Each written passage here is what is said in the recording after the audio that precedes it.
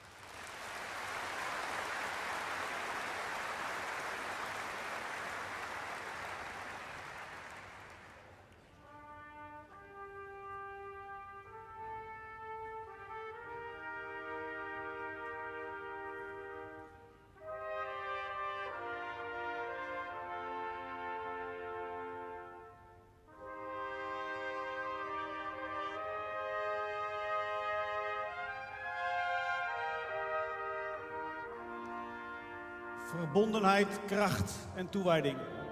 Dat zijn de korpswaarden van het Korps Mariniers. De sterke verbondenheid tussen mariniers van alle rangen en standen is het meest krachtige wapen om angst, gevaar en stress tijdens ons operationeel optreden te overwinnen. Deze speciale band is gebaseerd op loyaliteit en respect voor elkaar en elkaars opvattingen. Voor een marinier geldt dan ook dat zijn eigen belang altijd ondergeschikt is aan het belang van het team. Deze tijdloze kameraadschap vormt de kracht van het Korps Mariniers. Ben je eens marinier, ben je altijd marinier. Gevechtsomstandigheden zijn zware morele en fysieke uitdagingen. Het overwinnen van angst en tegenslag en het opzoeken van onze eigen grenzen maakt ons mariniers weerbaar.